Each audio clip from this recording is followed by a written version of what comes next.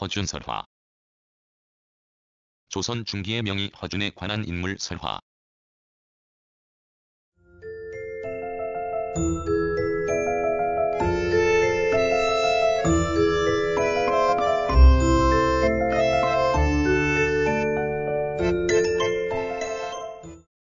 되기까지의 수련 과정과 허준이 발휘했다는 의술을 통해 그의 의학 체계를 보여주고 있다. 문헌과 구전을 통해 전해진다. 허준에 관한 기록이 실려있는 문헌으로는 이희령의 아파말록과 유재건이 이항견문록을 들 수 있다. 아파말록에 실려있는 내용은 다음과 같다. 허준이 명의로 이름을 얻기 전 약을 찾으려고 사신 일행과 함께 중국의 무려산에 도착했는데 길가에 한 무리의 코끼리 떼가 있다가 한 놈이 허준의 말 앞으로 나와 가로막으며 옷을 끌었다. 그가 말에서 내리니 코끼리가 엎드려 절하고 눈물을 흘리면서 함께 가자는 듯하므로 그가 옹락하자 그를 태우고 깊은 산 속의 굴로 달려갔다. 굴 안에 세 마리의 코끼리 새끼들이 피를 흘리고 누워있으므로 허준이 약을 내어 치료했다. 새끼들이 낳자 어미가 다시 그를 태워 옥학원에 내려놓고 가 다시 사신들과 합류하게 되었다. 이래 자초 쥐종을 듣고 난 일행이 모두 경탄하였고 이로 인해 허준은 명성을 떨치게 되었다. 후일 내위에 오르게 되고 임진왜란 때 호성공신으로 양평군에 봉해졌다. 이에 비해 이항견문록에 실린 허준 관계 기록은 간단한 사실만을 전하고 있어 설화로 보기 어렵다. 19세기의 이항견문록에 비해 18세기에 저술된 악파말록의 각편이 풍부한 서사적 내용을 담고 있다는 것은 허준에 관한 설화들이 허준 당대 또는 그의 사후 얼마 되지 않아서부터 전해지고 있었던 것이 아닌가 짐작하게 한다. 구전되고 있는 설화의 내용은 다음과 같다.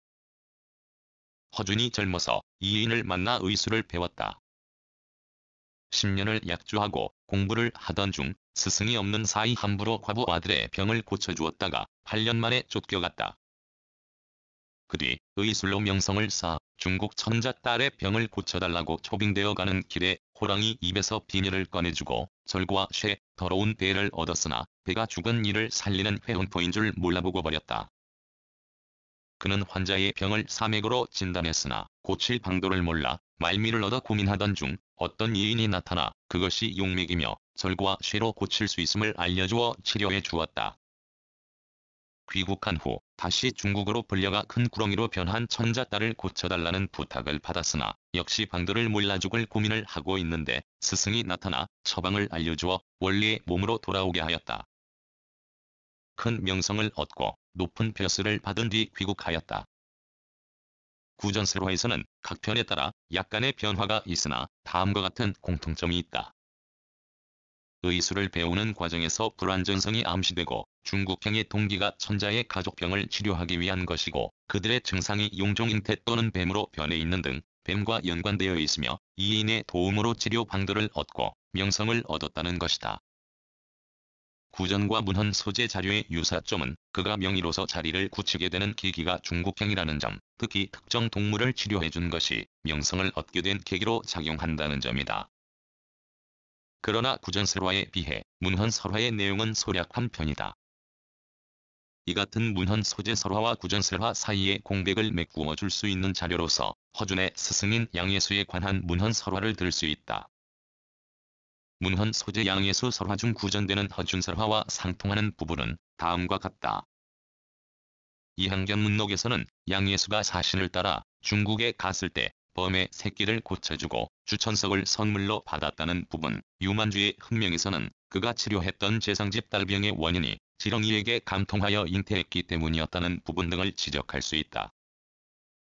이 같은 상황을 감안하여 볼 때 구전세로에 나타나는 허준이 중국에 간 이유, 범을 고쳐주고 받은 법의 환자와 이물과의 관계 등은 민간에 구전되는 과정에서 양예수보다 유명했던 허준의 일화들로 결집되어 전승된 것으로 추정된다.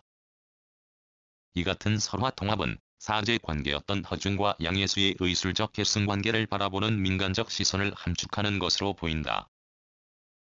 구전되고 있는 수많은 명의관계 설화 중에서 허준의 경우에만 중국행이 나타난다는 사실도 그의 의술 체계에 대한 민간적 이해 방향을 시사하는 것으로 보인다. 중국의 왕증 가던 길에 신이한 의료기를 획득했고 그것이 그의 의술 발전에 결정적인 견인차 역할을 했다는 점은 민간에서 이해하고 있는 허준의 의술과 사상적 배경의 내용에 대해 시사하는 파크다. 그는 향약을 집성하여 우리 나름의 의학 체계를 수립한 인물이다. 중국행과 관련된 이야기 내용들은 그가 중국의 의술을 정리하여 한국적 처방을 확립했다는 사실을 의미하는 것으로 이해할 수 있다. 출처 한국민족문화대백과 사전